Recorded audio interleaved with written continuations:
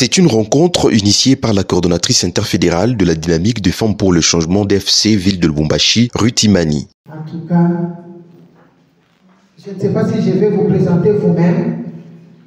Nous avons nos fédéraux qui nous ont honorés.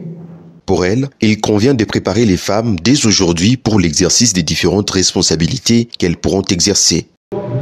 Nous, nous sommes une branche de la DFC, de la femme, de l'ensemble. Pendant cette période post-électorale, nous avions bien voulu éveiller les femmes parce que nous savons que tôt ou tard, nous allons diriger ces pays. Le parti politique a un triple objectif, celui de conquérir le pouvoir, de l'exercer et de le conserver. Quand nous sommes très sûrs que nous allons exercer ces pouvoirs, c'est comme ça que nous avons bien voulu préparer nos mamans, qu'elles soient à mesure de se défendre quand nous aurons le pouvoir. C'est un peu ça, que nous puissions diriger ce pays différemment de ceux qui sont là maintenant. Les conseillers doivent savoir qu'est-ce qu'ils peuvent faire dans les entités territoriales décentralisées, là où ils sont élus, pour représenter bien évidemment la communauté locale.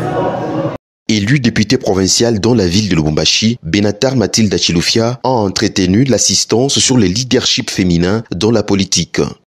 Nous les femmes, si nous nous rendons compte de cette valeur que nous avons, nous allons aider la, euh, notre président, nous allons aider le parti à aller récupérer le pouvoir. Les femmes constituent un bâton d'appui pour la famille et surtout pour le parti de Moïse Katumbi Chapwe, a-t-elle dit. La femme de l'ensemble pour la République et le pilier de notre parti. Ça a été bien de leur rappeler quel était leur rôle dans le parti, que c'était un rôle primordial, la femme et le pilier de l'ensemble pour la République. Invités à cette rencontre, les cinq conseillers communaux de la ville de Lubumbashi ont profité du savoir du professeur André Lissongomi qui a parlé de l'élection et du rôle des conseillers communaux.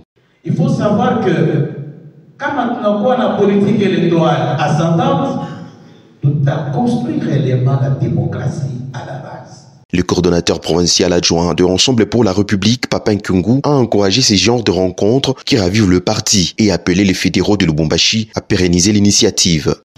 C'est un grand honneur pour notre coordination provinciale de venir faire l'ouverture d'une telle cérémonie parce que ce sont les rares occasions que nous tenons des cérémonies pareilles.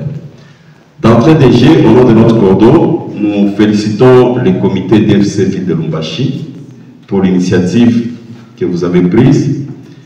Nous encourageons le coordonnateur interfédéral, les coordonnateurs interfédéraux de la ville pour le soutien, pour les encouragements à toutes les structures qui sont autour de lui dans la ville de Lumbashi. Et nous disons, c'est ça même les partis politiques. C'est dans une ambiance de famille qu'est s'est déroulée cette rencontre, d'où chacun et chacune des participants a tiré quelque chose de constructif.